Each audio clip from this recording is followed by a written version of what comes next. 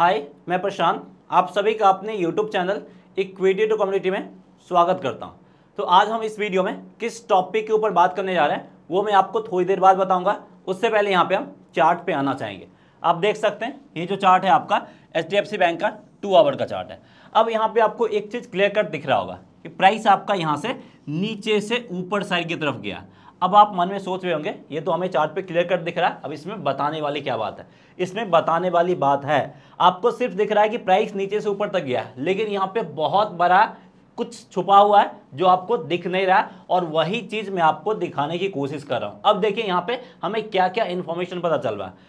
अब देखिए प्राइस आपका यहाँ से यहाँ तक गया यानी इतना ऊपर गया इसके बाद यहाँ पे मुझे क्या पता चल गया कि लोग बाई तो कर रहे हैं, लेकिन यहाँ पे फ्रेश बायर्स एंट्री नहीं कर रहे हैं। तो बाई कौन कर रहे हैं? जिन लोगों ने पहले यहाँ पे सेल कर रखा था, वो यहाँ पे बाई कर रहे हैं और बाई करने के साथ साथ मार्केट से एग्जिट कर रहे हैं। इसको अगर हम टेक्निकल टर्म में बोले तो यहाँ पे क्या हो रहा है? यहाँ पे आपका हो रहा शॉर्ट कवरिंग क्लियर हो गया?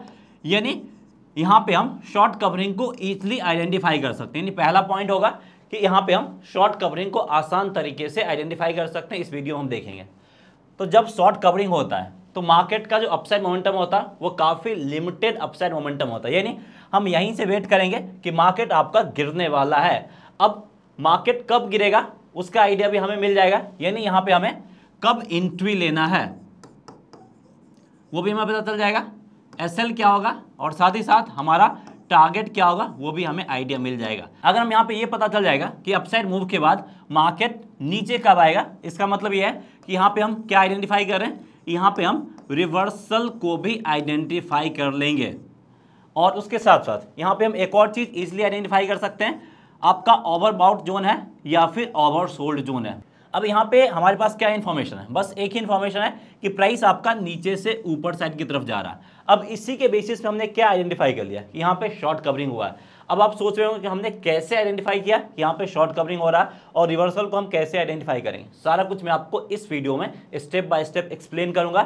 तो इस वीडियो हम क्या क्या एक्सप्लेन करेंगे short covering reversal overbought over sold zone है या नहीं है? उसके साथ साथ यहाँ पे देखिए प्राइस आपका यहाँ पे लास्ट क्लोजिंग सेशन यहाँ पे क्लोजिंग दिया था, उसके बाद डायरेक्ट आपका यहाँ पे ओपन हुआ है। तो क्या ये नीचे साइड की तरफ़ ब्रेकआउट है? नहीं है, नीचे साइड की तरफ़ ब्रेकआउट यानी यहाँ पे जो ट्रैप बिछाया गया है उस ट्रैप से भी यहाँ पे हम बच सकते हैं, यानी ट्रैप को भी यहाँ पे हम एवॉइड कर सकते हैं। तो चौथा पॉइंट यहाँ पे हम क्या कर देखेंगे? कि हम ट्रैप से भी कैसे अपने आप को बचा सकते हैं। तो ये चार चीज़ हम इस वीडियो में डिस्कस करने वाले हैं, जो कि काफ़ी क्रूशियल है, और इस वीडियो का लेंथ थोड़ा सा ज़्यादा हो सकता है, क्योंकि ये सारा क्रूशियल टॉपिक के ऊपर हम बात करेंगे डिटेल से, और सिंपल तरीके से मैं आपको ये सारा कुछ एक्सप्लेन करूँगा। सो इस वीडियो में आप लास्ट तक बने रहिए, और चैनल को सब्सक्राइब नहीं किया चैनल को सब्सक्राइब ज़रूर कीजिएगा, क्योंकि इस तरह के कॉन्टेंट आपको जनरली फ्री में कहीं और नहीं मिलने वाले हैं।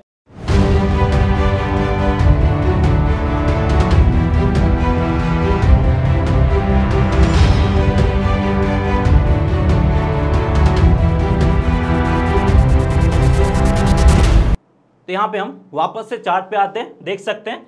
वापस से हम एच बैंक के टू आवर के चार्ट पे आ गए। अब यहाँ पे हम क्या देखेंगे?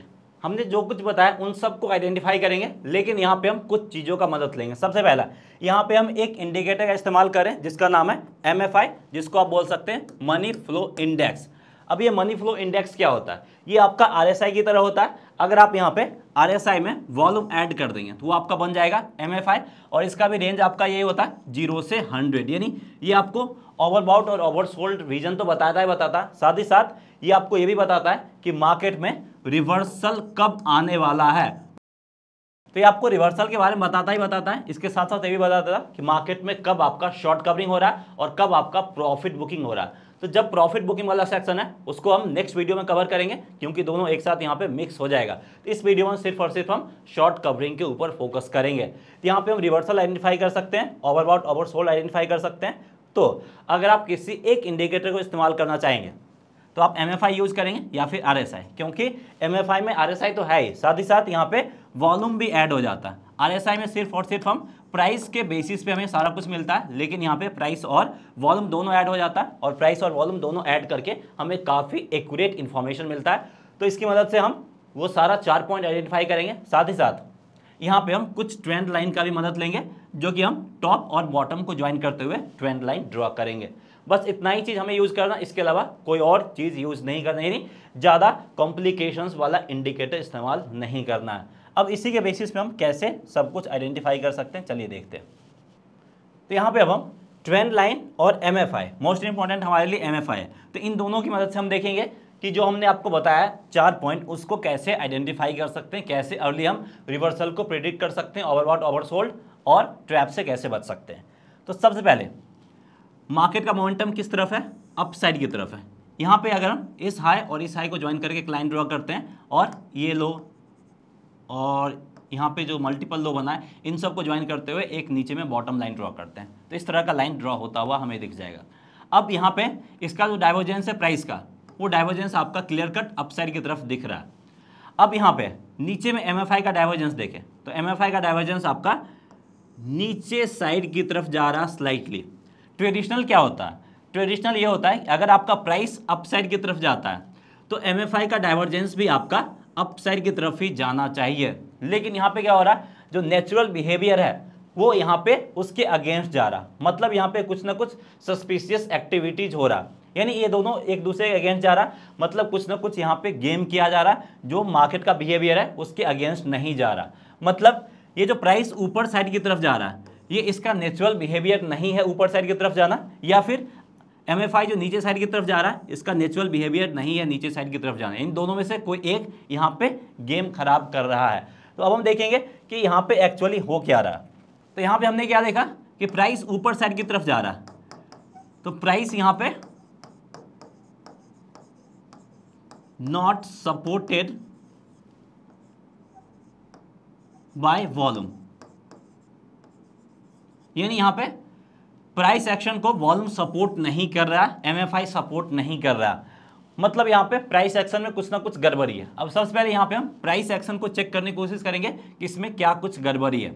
तो हमें इसी के करीब हमें आइडिया मिल गया था कि प्राइस आपका ज़बरदस्त ऊपर से नीचे साइड की तरफ़ गिरा है। मतलब हो ना हो, यहाँ पे क्या हो सकता है? शॉर्ट कवरिंग हो सकता है। ठीक है? क्योंकि उसके बाद एम जो कंटिन्यूसली नीचे साइड की तरफ़ ही जा रहा है और प्राइस आपका अप साइड की तरफ़ ही जा रहा है। तो यहाँ पे हमें क्या आइडिया मिल गया? इतने दूर जाने के बाद हमें आइडिया मिल गया यहाँ पे शॉर्ट कवरिंग के चांसेस हैं शॉर्ट कवरिंग यहाँ पे हो रहा है। अब क्या होगा? जब शॉर्ट कवरिंग होता है तो प्राइस आपका ज़्यादा अपसाइड मोमेंटम नहीं दिखाता, उसके बाद वापस से उसको नीचे आना ही पड़ता है। मतलब प्राइस यहाँ से अगर हम देखें तो आपको अपसाइड मोमेंटम दिखेगा, लेकिन ये अपसाइड मोमेंटम छोटे से पीरियड के लिए मतलब यहाँ पे क्या आने वाला? बहुत जल्द रिवर्सल भी आने वाला है। यानी यहाँ पे हम काफ़ी हद तक रिवर्सल को भी सूंघ सकते हैं, उसको भी हम आइडेंटिफाई कर सकते हैं, उसका भी हम उम्मीद आगे कर रहे हैं। तो अब हम एंट्री पॉइंट कहाँ पे लेंगे? सेल कहाँ पे होगा और टारगेट प्राइस कहाँ पे होगा? उसके लिए हम यहाँ पे किसका हेल्प लेंगे? ट्रेंड लाइन का हेल्प लेंगे। तो हमने बॉटम पॉइंट को ज्वाइन करते हुए ट्रेंड लाइन ड्रॉ किया टॉप को ज्वाइन करते हुए एक ट्रेंड लाइन ड्रॉ किया। अब देखिए, उसके बाद प्राइस आपका अपसाइड की तरफ़ जा रहा कंटिन्यू है। अब यहाँ पे देखिए, ये आपका गैप डाउन ओपन हुआ है। और इस टाइम पे क्या हुआ? अगर हम इस पार्टिकुलर सिचुएशन पे देखें एमएफआई को तो एम में ज़्यादा कोई रिएक्शन नहीं दिखाया यानी गैप डाउन ओपन होने के बावजूद भी एमएफआई उतना कोई साफ़ रिएक्शन नहीं दिखाया मतलब ये जो था, ये आपका ट्रैप करने की कोशिश किया गया यानी जो लोग यहाँ पे शॉर्ट कवरिंग आइडेंटिफाई कर लिए, उनको बताया गया है कि भाई अब यहाँ से मार्केट नीचे गिरने वाला, क्योंकि जो ट्रेंड लाइन ड्रॉ किया था, उसके प्राइस नीचे आ गया।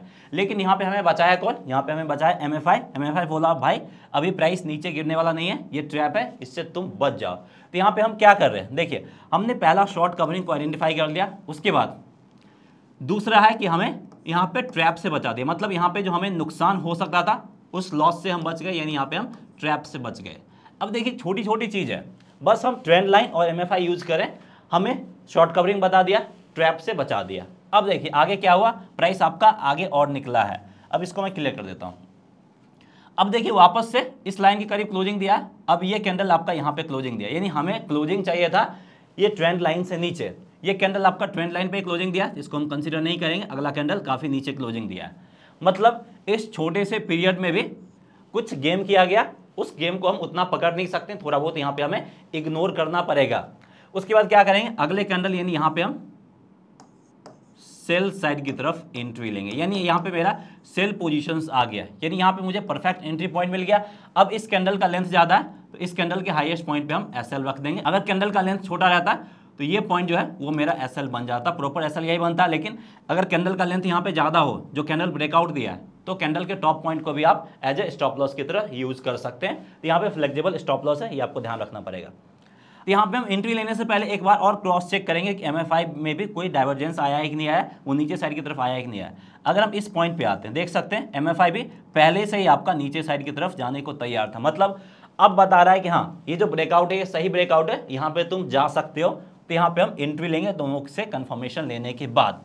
उसके बाद क्या हुआ? प्राइस आपका थोड़ा सा ऊपर गया, लेकिन अल्टीमेटली आपका प्राइस नीचे साइड की तरफ़ गिरा। और उसके बाद एम एफ़ आई यहाँ पर देखिए, आपका बॉटम पे पहुँच गया। ये नहीं, ये क्या बता रहा है कि काफ़ी हद तक एम एफ़ आई आपका स्लाइटली ओवर सोल्ड जोन में आ चुका है। यानी लेवल अगर बात करें तो लगभग 25 करीब है। और फॉर द सेफ्टी रीजन यहाँ पे अगर हम बात करें तो इस लेवल के आसपास हम चाहे तो एग्जिट कर सकते हैं।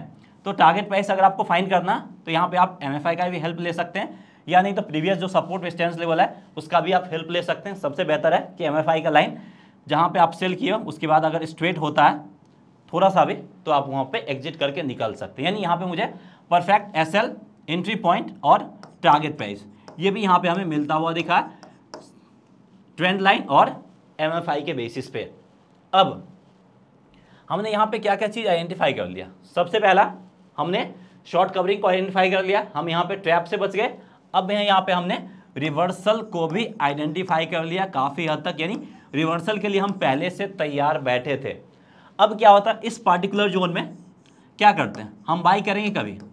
अगर हमें पता रहेगा कि मार्केट एक, दो दो दिन मैक्सिमम पाँच दिन, दस दिन के बाद कभी भी नीचे गिर सकता है तो उस पार्टिकुलर जोन में हम बाई करेंगे। बाई करने की गलती नहीं करेंगे, यानी इस पार्टिकुलर जोन में जो ट्रैप हो सकता था, उस ट्रैप से भी बच सकते थे, क्योंकि मुझे पता था पहले से कि रिवर्सल बहुत जल्द आने वाला है। तो ये सब कुछ यहाँ पे हमने आइडेंटिफाई कर लिया। अब यहाँ पे हमने एक एग्जांपल देखा। अब यहाँ पे इसके मल्टीपल एग्जांपल है। चलिए ऑल एग्जांपल के थ्रू इसको समझने की कोशिश करते हैं। तो यहाँ पे अब हम सेम स्टॉक्स एचडीएफसी बैंक के टू आवर के चार्ट में आते हैं और यहाँ पे हम एक और एग्ज़ाम्पल देखते हैं इसका। उससे पहले यहाँ पे आपको टाइम फ्रेम को लेके भी क्वेश्चन होगा मन में, उसको मैं एड्रेस करना चाहूँगा। तो यहाँ पे आप कोई भी टाइम फ्रेम का इस्तेमाल कर सकते हैं, लेकिन यहाँ पे आप 30 मिनट से नीचे आपको नहीं जाना है। क्योंकि 30 मिनट से नीचे जाएँगे तो यहाँ पे वॉल्यूम भी ऐड है तो वॉल्यूम में मेचोरिटी हमें देखने को नहीं मिलेगा। और 30 मिनट से कम जाएँगे तो वहाँ पे वॉल्यूम ईजिली मैनिपुलेट हो जाता है तो उसको ये काफ़ी हद तक फ़िल्टर नहीं कर पाएगा। फिर ये उतना ज़्यादा एक्यूरेट साबित नहीं होगा। इसलिए मिनिमम थर्टी मिनट का टाइम फ्रेम यूज़ करना और मैक्सिमम आप कोई भी टाइम फ्रेम आप इस्तेमाल कर सकते हैं। तो डाउट जो टाइम फ्रेम को लेके होगा, उम्मीद करते हैं क्लियर हो गया होगा। और अगर आप 30 मिनट के बेसिस पे इंट्राडे ट्रेडिंग कर सकते हैं तो इंट्राडे में इस्तेमाल कीजिए अदरवाइज़ नहीं कर सकते हैं तो इंट्राडे में इस्तेमाल मत कीजिए। अब यहाँ पर क्या कुछ हो रहा है? प्राइस आपका शार्प अपसाइड की तरफ़ जा रहा स्टार्टिंग में एमएफआई भी सपोर्ट किया था, लेकिन कुछ देर के बाद एम एफ़ यहाँ पे आपका फ्लैट हो गया है। एम फ्लैट होने का मतलब है कि प्राइस को एम की तरफ़ से सपोर्ट नहीं मिल रहा मतलब प्राइस को वॉल्यूम भी काफ़ी हद तक सपोर्ट नहीं कर रहा, यानी प्राइस को वॉल्यूम और एमएफआई दोनों सपोर्ट नहीं कर रहा। मतलब यहाँ पे क्या आने वाला? आपका देखिए, अब प्राइस ऊपर जा रहा, लेकिन वॉल्यूम एमएफआई सपोर्ट नहीं कर रहा। और यहाँ पे शॉर्ट कवरिंग भी नहीं है, क्योंकि प्राइस नीचे गिरा ही नहीं है शॉर्ट हुआ ही नहीं तो शॉर्ट कवरिंग क्या होगा? तो यहाँ पे एक ही चीज़ हो सकता है। प्रॉफिट बुकिंग आने वाला है। क्यों आने वाला है? क्योंकि आपका लगभग 52 वीक हाई के करीब पहुँच गया। अब 52 वीक हाई के करीब पहुँच गया, यानी वहाँ पे हमें प्रॉफिट बुकिंग आने वाला है। यानी मार्केट में क्या आने वाला है? रिवर्सल आने वाला है। अब यहाँ पे देखिए, हम अल्टीमेटली क्या आइडेंटिफाई करें? किसी भी कंडीशन में हम रिवर्सल को आइडेंटिफाई करें। शॉर्ट कवरिंग नहीं हो रहा, फिर भी हमें प्रॉफिट बुकिंग देखने को मिल रहा है और हम रिवर्सल को एनी हाउ आइडेंटिफाई कर पा रहे हैं। मतलब हमें यहाँ पे पता चल गया, ये जो अपसाइड मोमेंटम है, वो ज़्यादा देर तक टिकने वाला नहीं है। वापस से प्राइस को नीचे साइड की तरफ़ आना। ये नहीं, इतना अपसाइड मोमेंटम के बाद ही हम क्या तैयार थे? सेल करने को तैयार थे, यानी प्राइस जैसे ही नीचे आएगा, हम सेल करने को तैयार थे। और इसके लिए हम क्या किए हाई को ज्वाइन करते हुए ट्रेंड लाइन ड्रॉ किए और लो को भी ज्वाइन करते हुए ट्रेंड लाइन ड्रॉ किए थोड़ा गैदरिंग हो गया, यहाँ पर मैं क्लियर करना चाहूँगा। अब देखिए, यहाँ पे हमारा दोनों ट्रेंड लाइन ड्रॉ हो गया। अब हम देखेंगे हमें क्लोजिंग कहाँ पे चाहिए था? ट्रेंड लाइन के नीचे क्लोजिंग चाहिए था। ये कैंडल ट्रेंड लाइन के नीचे क्लोजिंग दिया। अब हम कंफर्मेशन के लिए किससे पूछेंगे? एमएफआई से पूछेंगे। यहाँ पे कुछ डाइवर्जेंस आया है कि नहीं नीचे साइड की तरफ़। अब देखिए, यहाँ पे आपका नीचे साइड की तरफ़ डाइवर्जेंस आ गया। यानी एम भी कंफर्म कर दिया कि यहाँ पे प्राइस नीचे जाने वाला है। सेल कर सकते हो। तो अगला कैंडल यहाँ पे मेरा क्या बन जाएगा? सेल साइड की तरफ़ एंट्री बन जाएगा। अब यहाँ पे एस पे ध्यान देना। यहाँ पे कैंडल छोटा सा है तो ये जो हाईएस्ट पॉइंट है, ये हमारा SL के रूप में काम करेगा। अगर ब्रेकआउट कैंडल का साइज़ बिग रहता है तो क्या होता? उसका हाईएस्ट पॉइंट ही SL बन जाता। है यानी यहाँ पे मेरा SL एंट्री पॉइंट क्लियर हो गया। अब मैंने क्या बताया कि टारगेट प्राइस कहाँ पे बुक करना? अगर आपका MFI थोड़ा बहुत भी स्ट्रेट होता है, या नहीं तो इस तरह का वी शेप बनाता है। ये भी आपको ध्यान देना। और इसके ऊपर भी एक स्ट्रैटेजी है, वो भी मैं आगे डिस्कस करूँगा। तो इसके ऊपर कंटिन्यूटी में वीडियो और भी चलेगा, इसलिए चैनल को सब्सक्राइब ज़रूर कीजिए और बेल आइकन को ज़रूर दबाइए, ताकि आप कोई भी वीडियो मिस ना कर पाए। तो यहाँ पे ये सारा प्रैक्टिकल चीज़ है, जो कि आपको प्रैक्टिकली में बहुत ज़्यादा काम आएगा और लाइव मार्केट में यही सब इस्तेमाल करके आप मार्केट के मोमेंटम को रिवर्सल को आसानी से आइडेंटिफाई कर सकते हैं। अब देखिए यहाँ पे हमने आइडेंटिफाई किया, लगभग इस लेवल करीब हम यहाँ पे प्रॉफिट बुकिंग कर लेंगे। नहीं तो आप चाहो तो और ज़्यादा वेट कर सकते हो। ट्रेलिंग स्टॉप लॉस का भी इस्तेमाल कर सकते हो प्राइस आपका और नीचे साइड की तरफ़ आया है। और अगर आप स्ट्रेट लाइन का वेट करना चाहते हो तो देखिए यहाँ पर स्ट्रेट लाइन आया है। मतलब इस लेवल के आसपास आपका एम एफ़ आई स्ट्रेट हुआ या यहाँ पर स्ट्रेट हुआ? तो ये लेवल होगा जहाँ पे हम प्रॉफिट बुकिंग करेंगे और हम सेल साइड की तरफ़ एंट्री लिए थे यहाँ पे। यानी एनी हाउ मुझे यहाँ पे अच्छा खासा प्रॉफिट या फिर प्रॉफिट थोड़ा बहुत कम ज़्यादा हो सकता है, लेकिन एनी हाउ यहाँ पे मुझे प्रॉफिट मिलता हुआ दिखेगा। और प्राइस आपका वहाँ से नीचे साइड की तरफ़ ही गिरता ही जा रहा है। तो ये दो हमने एग्ज़ाम्पल देखा, यहाँ पे हम और एग्ज़ाम्पल देखते हैं। अब हम यहाँ पे आते हैं विप्रो के डेली चार्ट पे। अब यहाँ पे देखिए, हम डेली चार्ट पे आ गए, यानी हम और ज़्यादा लॉन्गर टाइम फ्रेम पे आ गए। अब जितने ज़्यादा लॉन्गर टाइम फ्रेम में जाओगे, जो अपसाइड मोमेंटम है, यानी जो रिवर्सल आएगा, वो उतना ज़्यादा लेट हो सकता है रिवर्सल अब यहाँ पे देखिए, यहाँ पे भी क्या हो रहा है? प्राइस आपका अपसाइड की तरफ़ जा रहा, ठीक है? अब यहाँ पे हमें देखना है कि एमएफआई का क्या रिएक्शन है। एम का जो इंक्लिनेशन है, वो स्लाइटली आपका नीचे साइड की तरफ़ है। गौर से देखेंगे तो हल्का सा आपको नीचे साइड की तरफ़ इंक्लिनेशन दिखेगा। मतलब ये क्या बना रहा है? ये हाई है, उससे नीचे ये हाई है मतलब लोअर हाई पैटर्न का फॉर्मेशन कर रहा है एम मतलब क्या है? मतलब यह है कि इस अपसाइड मूव को एम एफ़ आई और वॉल्यूम भी देखेंगे तो वॉल्यूम भी काफ़ी हद तक सपोर्ट नहीं कर रहा। अब इस चीज़ को आपको मैनुअली आइडेंटिफाई करना पड़ेगा। इस चीज़ के लिए कोई स्कैनर है नहीं। आप जो भी स्टॉक्स में ट्रेड करते हैं, उसको वॉच लिस्ट में डालिए और आपको नेट आई से देखना है कि आपका MFI और प्राइस एक्शन दोनों में जब कॉम्बिनेशन ना बैठे, दोनों एक दूसरे का अपोजिट हो या फिर एक ऊपर जा रहा हो, एक फ्लैट हो, या फिर एक नीचे जा रहा हो, एक ऊपर जा रहा हो तो वो वाला सिचुएशन आपको फाइंड करना है। जैसे ही वो वाला सिचुएशन फाइंड करना है तो आप रिवर्सल को ईजिली आइडेंटिफाई कर सकते हैं। अब देखिए, यहाँ पे क्या हो रहा है? यहाँ पे प्राइस किसी भी कारण से ऊपर जा रहा हो प्राइस को अल्टीमेटली नीचे आना ही आना प्राइस आपका नीचे साइड की तरफ़ गिरेगा ही गिरेगा।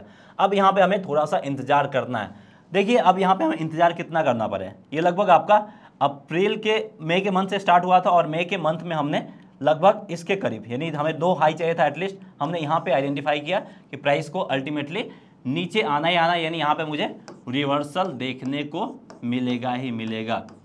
तो यहाँ पे हम क्या कर सकते हैं? अगर हमें विप्रो में इन्वेस्टमेंट करना हो लॉन्ग टर्म के लिए या फिर शॉर्ट टर्म के लिए बाई करना चाहते हैं तो क्या इसके बाद हम बाई करेंगे? नहीं करेंगे, क्योंकि मुझे पता है कि अल्टीमेटली प्राइस नीचे साइड की तरफ़ आएगा, और अगर आप लॉन्ग टर्म के लिए इन्वेस्टमेंट करना भी करना है तो वहाँ पर आप जब डिप मिलेगा तो उस डिप में यहाँ पे हम बाई कर सकते हैं। यानी लॉन्ग टर्म में भी आप चाहो तो यहाँ पे दो से पाँच परसेंट तक का एक्स्ट्रा आप प्रॉफिट बना सकते हो। बाकी शॉर्ट टर्म के लिए बाई करना तो वहाँ पे भी हम डिप का इंतज़ार करेंगे।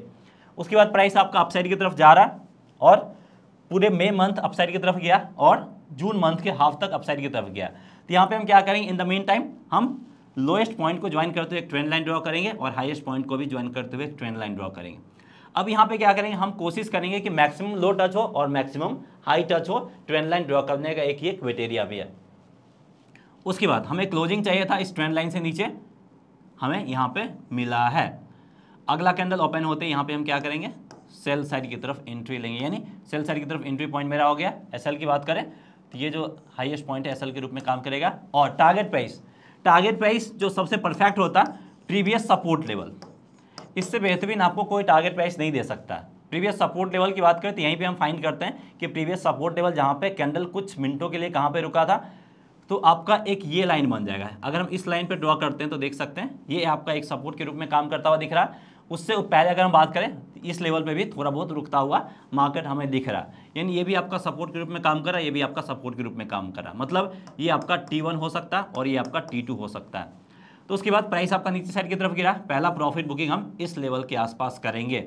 या नहीं तो दूसरा जो बताया एमएफआई का एग्ज़ाम्पल भी ले सकते हैं। जैसे देख सकते हैं, यहाँ पे एमएफआई करीब स्ट्रेट हुआ है।